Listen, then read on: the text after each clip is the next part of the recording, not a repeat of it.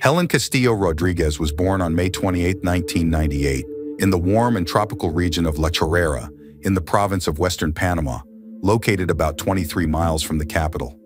Although there is little information about Helen's early life, it is known that she is the daughter of a woman named Sule Rodriguez Miranda, and only the last name Castillo is known about her father. Helen's childhood was spent among the busy streets of her hometown, where she developed a bright and energetic personality. She graduated from Dr. Harmodio Arias Madrid High School in the same city where she grew up. Her mother, Sulai, was born on May 13, 1978. She reportedly has two daughters besides Helen, although this has not been confirmed by her or other family members. Helen was an ordinary girl of her generation who used social media to express her personality and connect with others. Her active and joyful postings reflected her love of life and her desire to share happy moments with others. Among her interests was the Mexican series Como Dice el Dicho on Televisa, which she mentioned in her online profiles. At some point between 2018 and 2019, Helen's life changed dramatically when she met Oliver de Jesusa Delgado Gonzalez. A young man two years older than her, he also lived in La Chorrera. Oliver, born on August 5, 1996, was studying at the Vocational Technical Institute in the same city. Their relationship grew quickly, and in 2019, they found out that they were expecting a child. The arrival of their first son, whom they named Luam, filled the house they shared with Sulai with joy. Despite the challenges they faced as young parents, Helen and Oliver tried to give their child the best. However, it is not known if they consummated their marriage. Over time, as Luam grew older, Helen established herself as a caring and devoted mother, always willing to do her best for her son's well-being. Her unconditional love for him was evident to all who knew her, and friends described her as a devoted mother. Oliver was portrayed on social media as a caring boyfriend who seemed to love Helen. He was always putting likes to all her posts and photos, leaving affectionate comments or emojis with hearts and smiley faces. It seemed perfectly normal for the young couple to use digital means to show that they were in a relationship. However, some people expressed the opinion that Oliver was showing signs of passive aggression towards Helen, and this opinion may have been true. As their relationship progressed, the young man began to exhibit violent and aggressive behavior towards his girlfriend. The situation became so complicated that Helen made the difficult decision to end things and separate from Oliver. However, Oliver's behavioral problems were not limited to their relationship. During this time, Oliver was working as a corporal in the Panamanian National Police, and in mid-2020, he found himself in a difficult situation after threatening to kill a sergeant first class from the Metro Police Squad. The incident led to his reprimand, after which he was suspended from his job and transferred to an administrative position. He also had his service weapon confiscated and was ordered to undergo psychological treatment, although details of his diagnosis were not disclosed. Despite the service problems, Oliver was able to convince Helen to return to him. According to the young woman's friends, she agreed to give him a chance so that her son would not grow up without a father. Thus, Oliver moved back in with Helen's mother. Shortly after the reconciliation, in early 2021, Helen discovered that she was pregnant again. Apparently, this news increased her desire to rebuild her relationship with Oliver, as she wanted to provide stability and a better future for her children. Helen's emotions from her new pregnancy were palpable. She believed that with the baby's arrival, her home would be filled with even more love. However, what no one expected was that this happiness and all of Helen's future plans would be taken away from her in the worst possible way. Despite Oliver's promises, his behavior continued to be disturbing. His actions, though cloaked in love and remorse, could not hide his dark and violent side that he could not leave behind. On Sunday, February 7th, around 3 a.m., for unknown reasons, a violent argument broke out between the couple in the street near their home. Suddenly, Oliver, in a fit of rage, lunged at Helen with a machete in his hands, ignoring the fact that their two-year-old son was in the house. The young pregnant woman's soul-wrenching screams echoed throughout the neighborhood as she desperately tried to defend herself from her partner's brutal attack. Sulai, Helen's mother, stepped between her daughter and son-in-law in a desperate attempt to stop him. However, her heroic action resulted in her falling victim to Oliver's brutality as well.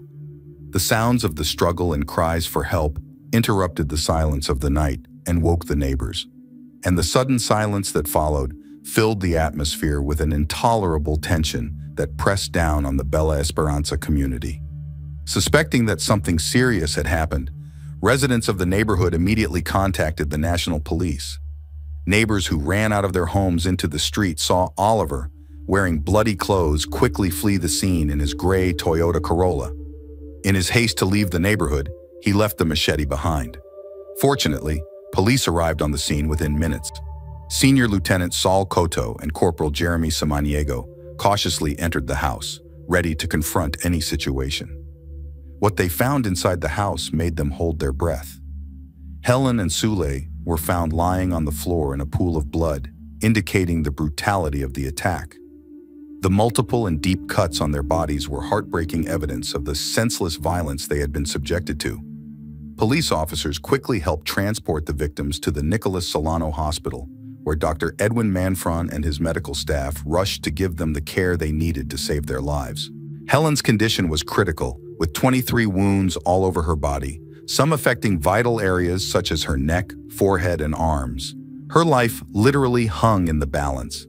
Despite the efforts of doctors, the young woman could not hold out and died from her wounds at 3.45 a.m. Sule managed to survive the horrific attack, but her injuries made her severely weakened. She was taken to St. Thomas Hospital, where she received constant medical attention for several days while she fought for life after suffering terrible effects from the attack. News of Helen's death and Sule's serious condition spread quickly.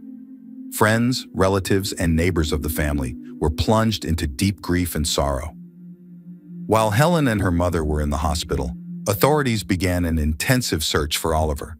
Soon reports came in that his car had been seen on Kerosene Street in the La Pesa neighborhood, where Oliver's brother Vidal Delgado's house was located. The police were continuously searching for him to apprehend him as soon as possible.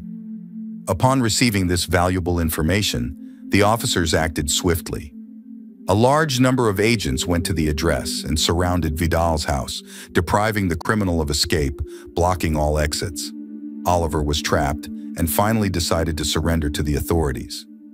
The arrest occurred on Sunday, February 7, 2021, at approximately 5.35 a.m. Oliver was escorted to the La Chorrera police station where he was interrogated and prosecuted for his horrific crimes. Two days after the brutal attack, on Tuesday, February 9th, the arraignment hearing was held. For two long hours, Oliver listened in silence as he was charged with the most serious charges feminicide in connection with Helen's death, as well as attempted feminicide and attempted murder of Sule. At the end of the session, the judge of the Criminal Investigation and Feminicide Division of the Regional Prosecutor's Office of the Ministry of Justice in Western Panama ordered Oliver's arrest for the duration of the investigation so that he would not flee from justice. The presence of Helen's friends at the hearing added additional emotions in the hall. As they left the courthouse, Journalists approached them, and the girls expressed their shock at what had happened and insisted that Oliver had no mental illness. They argued that the accused was fully aware of his actions and should be held accountable for his horrific actions. Helen's father was also present at the trial, but chose not to comment to the media. His quiet but pain-filled presence spoke for itself, reflecting the deep anguish that this tragedy has brought into his life and the lives of his family. At this time, the National Institute for Women became a key player in the case. Nellis Herrera, then CEO of the organization, spoke to the media to express her statements about the crime. In a firm and resolute tone, she stated that the crime was carefully planned by Oliver. Nellis explained how, despite psychological surveillance, the former policeman was able to manipulate Helen's family to come back into their lives and carry out his devious plan. The official emphasized the importance of working closely with the National Institute for Women, the Attorney General's Office, and the National Police to ensure justice in Helen's case and to take measures to prevent similar tragedies. The trial that followed the tragic incident that occurred that early morning was long and complicated. The trial, originally scheduled for Wednesday, November 16, 2022, encountered some last-minute obstacles related to jury confirmation. Because of these difficulties, the Attorney General's office was forced to postpone the start of the trial until the following day. Finally, on November 17th, the long-awaited oral trial began and lasted two days. During this time, the chief homicide prosecutor played a key role by accurately listing all the forensic evidence and testimony relevant to the case. Every detail presented in front of the court helped to clarify the events that took place on February 7, 2021 at the victim's home. Finally, on Friday, November 18, 2022, after a long trial that lasted one year and nine months since the tragic death of Helen and the brutal attack on Sulai, judges Daniel Samaniego, Alina Uviedo and Judith Vivero delivered their verdict.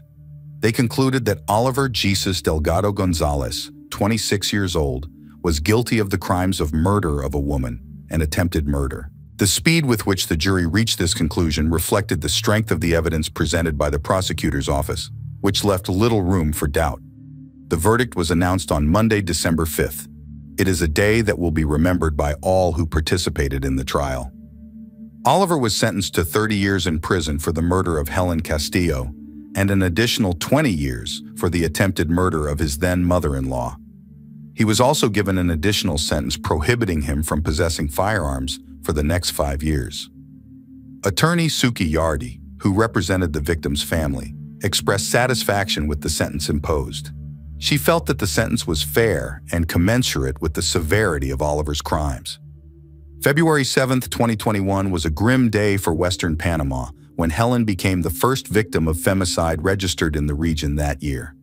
The tragedy hit residents even harder when, less than 24 hours later, a second case was reported in the region. A woman aged 53 was murdered by her partner in San Nicolas La Chorrera. Data from the Attorney General's office revealed a frightening reality. For 2021, there were 22 cases of femicide and 15 attempted femicide cases nationwide. While the numbers decreased by 2023, experts say it is important to keep in mind that these statistics only reflect cases reported in this category, which is an underreporting. Such cases escalated during the COVID-19 pandemic. After her tragic and untimely death, Helen's memory remains in the hearts of all who knew her. Those close to her keep her memory in their hearts, remembering her lively and joyful spirit. The tragedy that cut short the life of a young woman and her future child, leaving her two-year-old son orphaned, is a sad reminder of the risks of gender-based violence and the need to strengthen measures to prevent it.